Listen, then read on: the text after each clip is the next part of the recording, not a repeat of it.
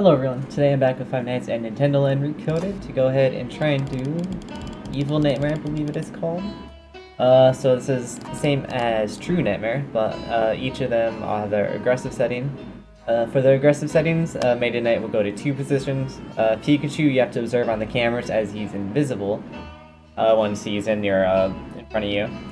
Luigi will go crazy with the camera static on everything. Uh, Mario, you can't see on the camera unless you have the brightness on. And Sonic, you have to watch his position on the camera as his sound cue is removed. So basically it makes this a lot more camera heavy, which I prefer. But uh, I am a little scared because, oh man, they can kill fast. So let's give it a whirl. I was misclicking. Uh, um, yep. I figured out hold